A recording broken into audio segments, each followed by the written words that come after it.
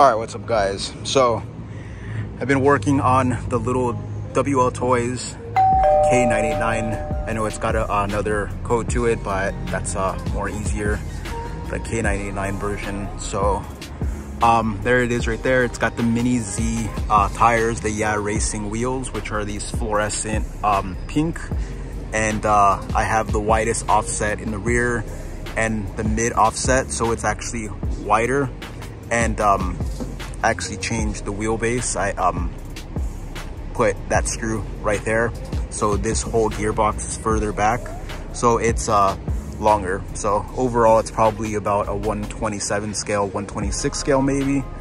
But yeah, this thing is uh, pretty dang dope. Really, really enjoying this thing. And uh, yeah. So the first thing um, I did as far as uh, getting this thing ready to go to uh, you know, be more fun and everything. I took out the differentials. I um, actually had to sand some of the spider gears down because they were binding and the diff cups right in, well, I'm not sure if you could see, but right in there, right there. Um, those basically go into the diff and they slide and the plastic is basically very bad tolerant. So you basically have to sand down the plastic pieces to make them um, more smoother and everything. So I did that and right now the diffs are, look how smooth, super smooth and it doesn't even engage the front wheels and it rolls super smooth now.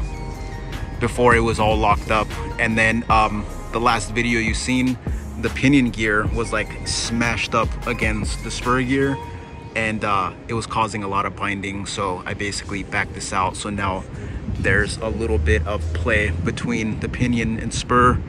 And uh, another thing I did which was uh, very very beneficial was you know how there's uh, two diff um, what is that uh, bearings that go one here one right there? Well the one on this side that the diff, it goes into the pinion gear right there. I actually took out some plastic to shift the differential more this way. So it's meshing up against the pinion gear. The ring gear is meshing up with the pinion gear very, very nicely.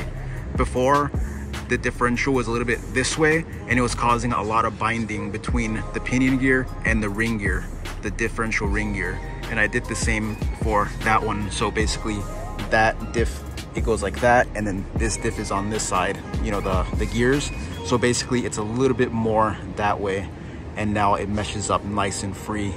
And it basically makes it roll a lot much more smooth. But yeah, so there she is right there. And uh, I took off the bar, the light bar, just wanted to make it a little more lighter and um, less of a toy but I think it looks much better and it's really not needed. But um, yeah, if it's just like a basher and you know, you're just bashing it outside in the dark, then probably pretty cool, but yeah. Next um, mods I'm gonna get, I'm gonna get the uh, aluminum um, knuckles. I'm gonna get the ball differentials. I'm gonna get um, the tie rods and the metal gear set. Basically the uh, differential pinion gear. And um, the metal steel spur gear.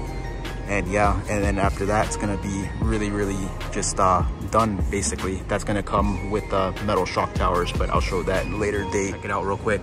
Let's uh, do a little test run.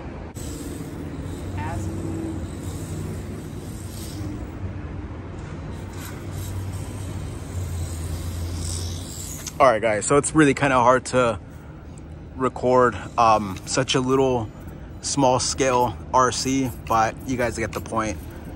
This is gonna be with one hand.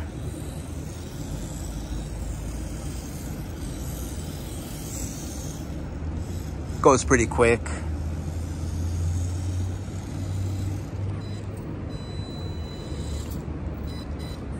But yeah, but the drivetrain is a lot more free feels a lot better than before because before it was like a major uh, drag brake. Basically, when you got off of it, it wouldn't roll.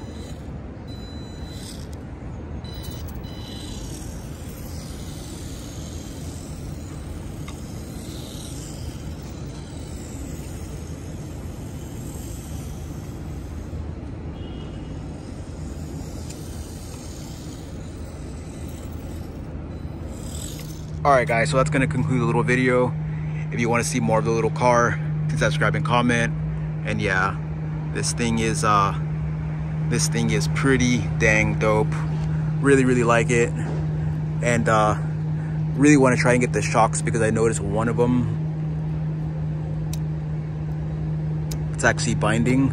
But yeah but that's gonna be in a later date. All right guys i'll see you in the next one. Peace